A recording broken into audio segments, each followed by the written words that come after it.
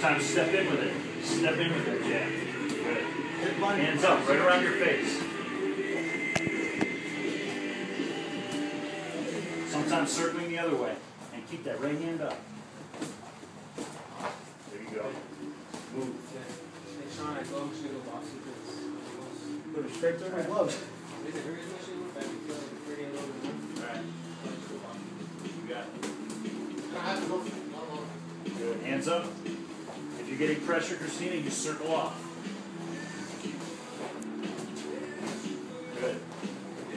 See how your hands are dropping? Yeah, keep them up. Keep them up. Number one way we don't get hit is by having that guard. Good. If you feel pressure, you circle off. Circle off.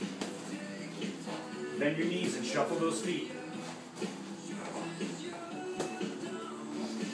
A little harder. I want to see some more power. There we go. Come like that. You're not going to break it. And when you throw it, bring it right back to your chin. 30 seconds. Come on, pick up the pace a little bit.